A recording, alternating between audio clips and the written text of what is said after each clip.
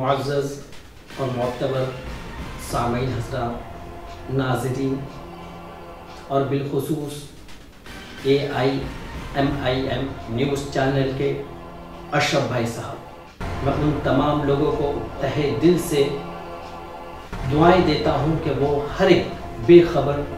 खबरों से हमें आगाह करते हैं। उस वारिस पठान साहब ने एक ऐलान किया कि आज मुंबई करों पर जो जुल्म और ज़्यादती हो रही है और मुंबई करों के लिए जिस तरीके से हमें करना चाहिए था उससे बढ़ चढ़ कर अभी इस तरीके से हम करेंगे जो आंदोलन आज हमने छोटे पैमाने पे लिया है। लेकिन आगे चलकर हम इसे बड़े पैमाने पर लेंगे जब तक कि हमारी हित की बातें ना सुनी गई और हमारे हक में उन तमाम लोगों ने वो बातों को मुकम्मल तरीके से ना समझ सके तो हम उन तमाम लोगों को इस तरीके से जवाब देंगे कि वो देखते रह जाएँगे। और साथ ही साथ मैं ये कहूँगा, उन तमाम लोगों के लिए तहे दिल से मैं शुक्रिया अदा करता हूँ जो इस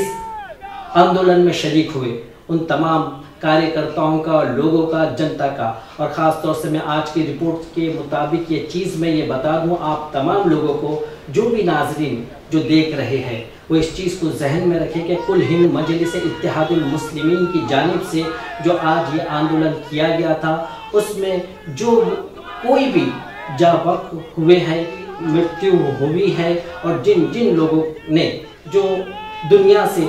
जा चुके हैं उन तमाम लोगों के लिए उन्होंने दुआएँ खैर भी की, श्रद्धांजलि भी दी और इसके साथ एक आंदोलन शुरू किया गया। और वो आंदोलन रेड रोड से लेकर भाई कल्ला होते हुए तमाम जगहों पर यह ऐलान किया गया कि आज के इस आंदोलन का ये मैसेज था, जिन भ्रष्टाचारियों ने जिस तरीके से वो कारनामे को अंजाम दिया, चाहे वो केंद्र सरकार के ही लोग क्यों ना हो, चाहे वो राज्य सरकार के ही लोग क्यों ना हो, चाहे वो बैरोक्रेट के आला अधिकारी ही क्यों ना हो, जिनकी लापरवाही की बिना पर आज तकरीबन तकरीबन चाहे वो बाईस लोग हो, चाहे जितने भी लोग हिलाक होने वाले हो, चाहे जितने ही लोग, जिन लोगों को फ्रैक्चर हुए हैं और जो लोगों को हाथ पैरों पर मार लगी है, चोट लगी है, उन तमाम लोगों के लिए अलग ऐलान कुल हिंद मजलिस इतिहादुलमसलिमिन के शेर महाराष्ट्र मोहतरम जनाब वारिस पठान साहब ने जिस तरीके से आंदोलन किया, काबिल तारीफ़ ही नहीं, बल्कि मुंबई के हर एक फर्द और हर एक इंसान के लिए उन्होंने ये आंदोलन किया है। आज उनकी जान गई है तो कल हमारी भी जान जा सकती है। उनका यही मैसेज था। और ख़ास तौर से मैं ये बता दूँ कि कुल हिंद मजलिस इतिहादुलमसलिमिन के ये जब आंदोलन किया गया तो उसमें साफ़ शफाफ लफ्जों में यह बताया गया, बैरोक्रेट या आला अधिकारी क्यों ना हो? जिन जिन लोगों ने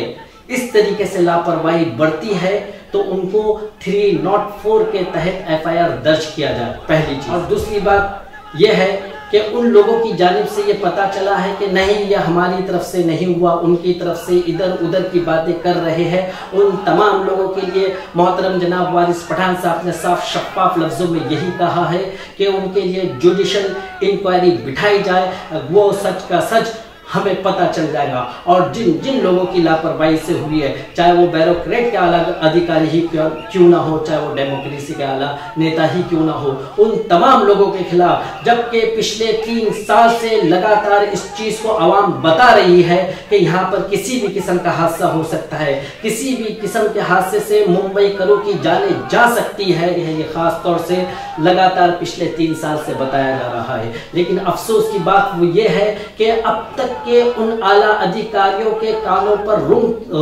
एक जू तक की नहीं रही। और खास तौर से वो आला अधिकारी, मुंबई, मैं समझता हूँ कि बोरवली से लेकर चर्च गेट के दरमियान उन लोगों ने ना कभी सफ़र किया होगा, ना ही वो कभी करते होंगे। सिर्फ़ उनका यही मकसद है कि ज़्यादा से ज़्यादा हम टिकटों के रेट बढ़ाए और आए दिन नए नए बजटों को बढ़ाते रहे ताकि वो आला अधिकारी एसी के अंदर इतमान से रह सके एसी गाड़ियों के अंदर जा सके एसी फ्लैटों के अंदर रह सके। लेकिन मुंबई का एक व्यक्ति, एक इंसान, एक दो रोटी कमाने के लिए कहाँ से कहाँ तक के जद्दोजहद करता है? लेकिन उसे ये एहसास होता है कि शायद के मैं घर पहुंचू या ना पहुंचू, फिर भी वो जद्दोजहद करते रहता है। लेकिन उसके बाद वो पहुँच नहीं सकता है, लेकिन बट ये होता है, आखिरकार उसका वो लाशा उसके घर तक के पहुँच जाता है। अफसोस की बात यह है कि मेरे दोस्तों, जिस तरीके से वारिस पठान साहब ने कुल हिंद मजलिस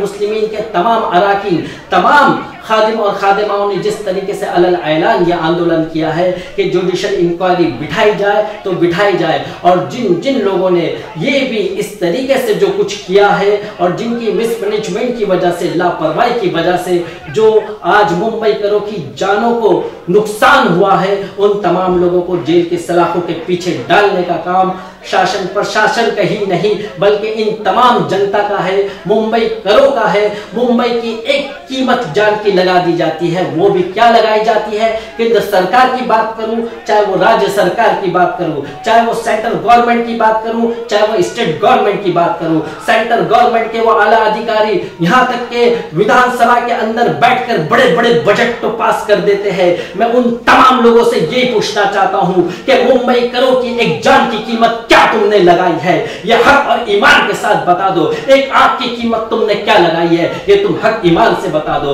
तुम्हारे एक हाथ की कीमत, कम से कम वो कहते हैं, एक हाथ की कीमत लाख रुपया, एक पैर की कीमत दो लाख रुपया, एक आँख की कीमत पचास, साठ हज़ार रुपया। और मुंबई कर, और मुंबई वासी जब कभी भी मरता है तो उसके लिए वो पाँच लाख रुपए तक के घोषणा कर देते हैं। इसी तरीके से स्टेट गवर्नमेंट भी यही कीमतें लगाती है कि आँख की कीमत ये, हाथ की कीमत ये, पैर की कीमत ये, सर की कीमत ये, और मर जाए तो उस मरने की कीमत ये। मैं उन तमाम लोगों से ये पूछना चाहता हूँ, भाई, मुंबई करो के लिए एक चीज़ मुझे बता दी जाए, वो रेट लिस्ट क्या है मुंबई करो की? एक जान की कीमत की रेट लिस्ट मुकम्मल तरीके से खुले आम आवाम के बीच में रख दिया जाए कि मुंबई करो को यह पता चल जाए कि मैं ये ट्रेन में सफ़र कर रहा हूँ। और करने के बाद मुंबई से लेकर चर्ची गेट के बीच में अगर कोई हादसा होता है तो मुझे यकीन हो, मुझे मालूम हो कि मेरे हाथ की कीमत ये आला अधिकारियों ने और बैरोक्रेट और आला अधिकारियों ने यह लगाई है कि एक हाथ की कीमत पचास साठ हज़ार लाख रुपया तो वो मुझे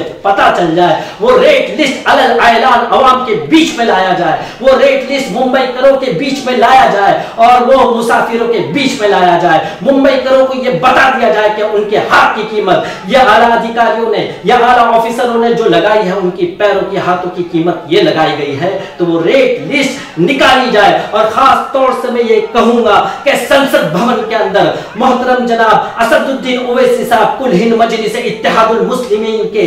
कुल हिंद के सदर मोहतरम, बैरिस्टर असदुद्दीन साहब से मेरी इल्तजा है, दरख्वास्त है कि वो खास तौर से, खास तौर से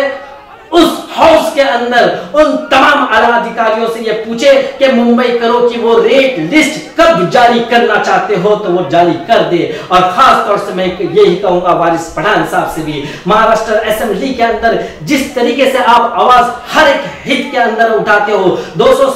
वार्ड के अंदर एक काउंसिलर बन के भी आप काम कर रहे हो, एक एमएलए बनकर भी काम कर रहे हो। वारिस पठान साहब, मैं आपको और एक चीज़ ये तहे दिल से बता दू, मैं क्योंकि कुल हिंद मजलिस इत्तेहादुल मुस्लिमीन का एक अदना सा खादिम ज़रूर हूँ। लेकिन मैं ये कहना चाहता हूँ, ये मेरी मुंबई करो की जनता की आवाज़ है। मुंबई वालों की ये आवाज़ है कि वो रेट लिस्ट तो निकाली ही जाए, खास तौर से जो मैंने कहा है। और साथ ही साथ जिस तरीके से ये ऐलानिया तौर पर ये कहा जा रहा है कि मुंबई वासियों के लिए तो वो मुंबई करो के लिए खास तौर से महाराष्ट्र, जो सत्ताधारी लोग हैं, उनसे अलग ऐलान पूछा जाए कि ये रेट लिस्ट कब तुम निकालना चाहते हो मुंबई करो के लिए। खास तौर से मेरा यही कहना है। और दूसरी बात यही कहूँगा कि कुल हिंद मजलिस इत्तेहादुल मुस्लिमीन के महाराष्ट्र के खादिम आला मोहतरम जनाब वारिस पठान साहब, जो हर एक हित के अंदर काम करते हैं, उसी तरीके से अगर जिन लोगों को उनसे इबरत हासिल करनी चाहिए। चाहे वो मोहतरम जनाब असलम शेख साहब ही क्यों ना हो, चाहे वो चाहे वो अमीन पटेल साहब ही क्यों ना हो, चाहे वो आरिफ नसीम खान ही क्यों ना हो, चाहे वो समाजवादी के लीडर मोहतरम जनाब अबू आसिम ही क्यों ना हो, उन तमाम लोगों को सीखना चाहिए। मुंबई कर के अंदर और मुंबई की सर ज़मीन पर जिस तरीके से बिल्डिंगे मध्यम हो रही थी, जिस तरीके से बिल्डिंगों को मुकम्मल तरीके से अपने आप वो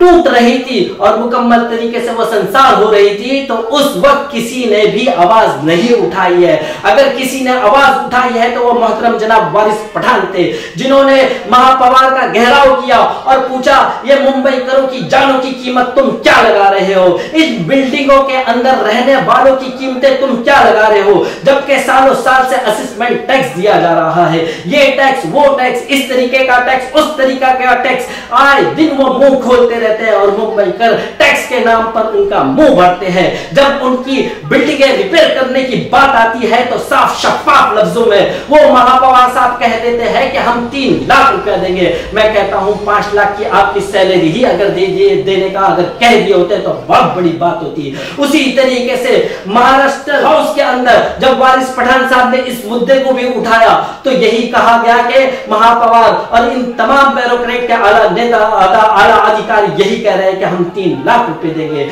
लेकिन मैं भाई कल्ला की आवाम को यह कहूँ कि आपने सच्चा, पक्का एक रहबर और रहनुमा ढूंढ कर आपने निकाला है, उसका नाम है वारिस पठान, जो आपकी ही हक की नहीं, बल्कि मलाड मानूनी ही नहीं, जोगेश्वरी ही नहीं, बल्कि वर्षवा ही नहीं, बल्कि दो वार्ड के अंदर, चाहे वो रात हो, दिन हो, छोटी बात हो, बड़ी बात हो, वो सबसे पहले वहाँ पहुँच कर आवाम को आगाह भी करता है, आवाम को ये तमाम बातें बताने की कोशिश भी करता है और सड़क से लेकर संसद भवन तक के वो मालवनी मुंबई और तमाम जनता की दो